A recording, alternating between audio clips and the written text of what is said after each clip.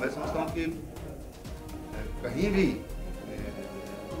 इस तरह का कड़ा प्रावधान है कि 10 करोड़ रुपए के जुर्माने की व्यवस्था की ये सामान्य चीज़ नहीं है। एक जो इस तरह के लोग हैं जो इन कार्यों में संलिप्त होते हैं तो उसको लगेगा यार कि मैं तो मेरा तो घर मकान सब बिक जाएगा इसके बाद हो सकता है इतना हो भी नहीं। काफ़ी सख्त कानून सरकार ने बनाया है। इस वक्त उत्तराखंड के पूर्व मुख्यमंत्री त्रिवेंद्र सिंह रावत जी, हमारे साथ सर, आप लगातार गढ़वाल के बाद कुमाऊं दौरे पर है। जल्द ही चुनाव है। किस तरीके से तैयारियाँ हैं और जो आपके दौरे हैं, उसको किस तरीके से देखा जाए? भारतीय जनता पार्टी एक संगठन आधारित दल है। विचारधारा पर काम करता है। इसलिए पार्टी की जो गतिविधियाँ हैं, वो सतत चलती रहती है। सत्ता में हों, सत्ता से बाहर हों, चुनाव हों, चुनाव विलंब से हों तो पार्टी की सतत अपनी गतिविधियाँ चलती रहती हैं। हाँ जब चुनाव सामने होता है तो थोड़ी गतिविधियाँ और तेज हो जाती हैं। स्वाभाविक रूप से जो तैयारी चाहिए चुनाव लड़ने के।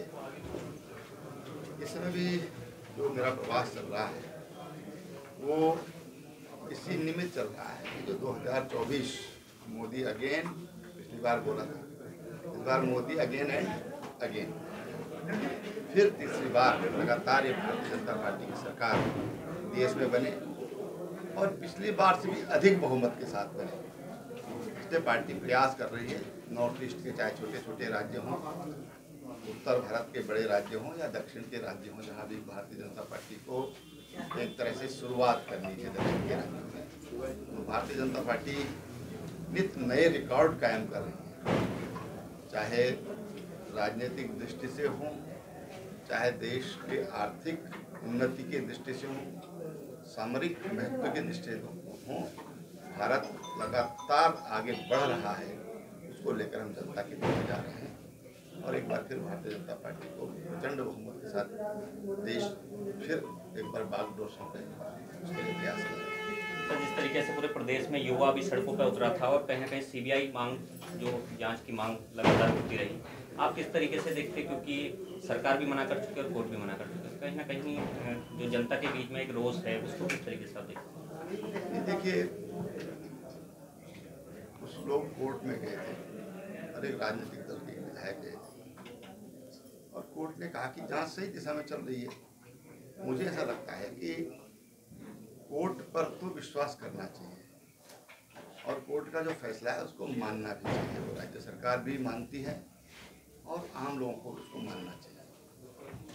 सर इसके अलावा जैसे पेयजल वाला जो एक सरकार के द्वारा थर्टी एक रुपये में जो कनेक्शन दिया जा रहा है उससे कितना लाभ होने जा रहा है? क्योंकि इस बार जो देखा जा रहा है उत्तराखंड में ना बारिश हुई है ना बर्फबारी ठीक से हुई है। तो कहीं ना कहीं पानी की अब लगातार कमी देखी जाएगी। वो किस तरीके से आप देखते हो? उसके लिए तो तैयारी करनी चाहिए। अवेयरनेस की भी ज़रूरत है जन जागरूकता की भी ज़रूरत है। लोग पानी का कैसे बचाव कर सकते हैं, वो भी लोगों को देखना चाहिए। और जो सरकारी डिपार्टमेंट है, जिनकी ज़िम्मेदारी है पर्याप्त पानी उपभोक्ताओं को मिले, जो लीकेज है, उसको पूरी तरह रोका जाए। और पूरा अपना जो रेगुलेटरी सिस्टम है, उसको चुस्त दुरुस्त किया जाए। और इस समय पर अलर्ट किया है प्रकृति ने मुझे लगता है कि सारी व्यवस्थाएँ ठीक हो जाएँगी। सर घसियारी योजना को लगातार विपक्ष आवाज़ उठा रहा है उसको लेकर के लगातार हमला कर रहा है सरकार पर आप किस तरीके से उसको देखते हैं? देखिए घसियारी कल्याण योजना से बहुत लाभ हमारे जो पशुपालक हैं वो उठा रहे हैं। और उसको अभी और अधिक मात्रा में बढ़ाने की ज़रूरत है। जो उसका जो बेसिक जो प्रोडक्ट है वो किसानों से ही खरीदा जाता है, जो हरी घास है, जो मक्की है और अन्य जो घास है जो उसमें इस्तेमाल होती है, वो पशु जो हमारे किसान हैं, उनसे खरीदा जाता है। एक बात तो मैं कहूँ, कहना चाहूँगा कि उसका अच्छा मूल्य किसानों को दिया जाता है तो किसान उसको पैदा करना चाहिए। और जो उसकी डिमांड है जिस तरह से, उसके लिए और प्लांट लगने चाहिए। लेकिन प्लांट से घास पैदा नहीं होता, घास तो खेतों में ही पैदा होगा। और जो घास पैदा करेंगे, वो किसान पैदा करेंगे। इसलिए दोनों का सामंजस्य चाहिए। हमारी जो डिमांड है, किसानों से भाई आप ढंग से अपना ये जो देश है उसका, जो आहार का, चारा, चारे का, पशुओं का, वो किसान तैयार करेगा।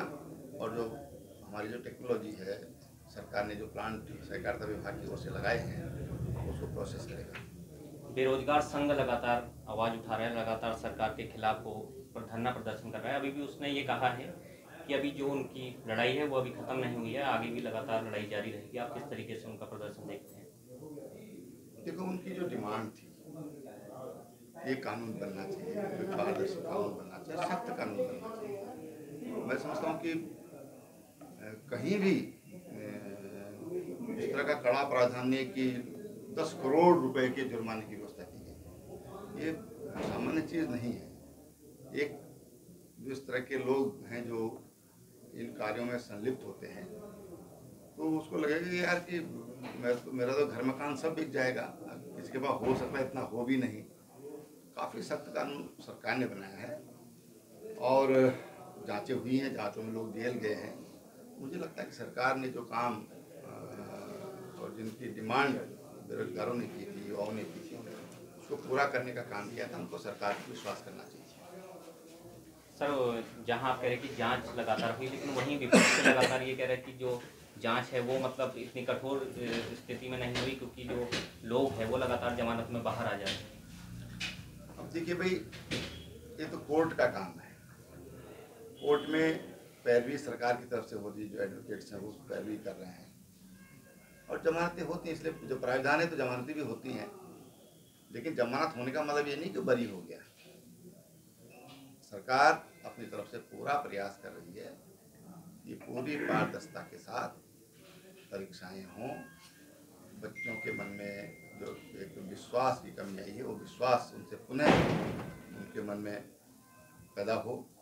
वो सरकार पर भी विश्वास करें और जो सिस्टम है उस पर भी विश्वास करें। धन्यवाद सर। ये थे पूर्व मुख्यमंत्री त्रिवेंद्र सिंह रावत जो कि लगातार गढ़वाल के बाद कुमाऊं दौरे पर है और कहीं ना कहीं भारतीय जनता पार्टी को मज़बूत करने की बात कर रहे हैं और आने वाले जो चुनाव है उसमें कहीं ना कहीं भारतीय जनता पार्टी फिर से विजय पताका लहराने वाली है राहुल सिंह